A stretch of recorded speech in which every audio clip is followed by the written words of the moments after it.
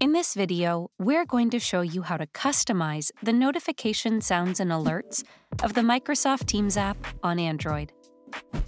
For Android users, you can precisely customize the Teams notification experience like a pro. Let's see how to do that. On your Android, long tap on the Microsoft Teams app icon. Now tap on I to open the App Info menu. Tap on Notifications. By default, all the Teams notifications are enabled with the default alert sound. You can change the notification sound for apps on Teams. Let's select Chat. Tap Sound from the following menu. Pick a relevant sound from a category, and you're good to go.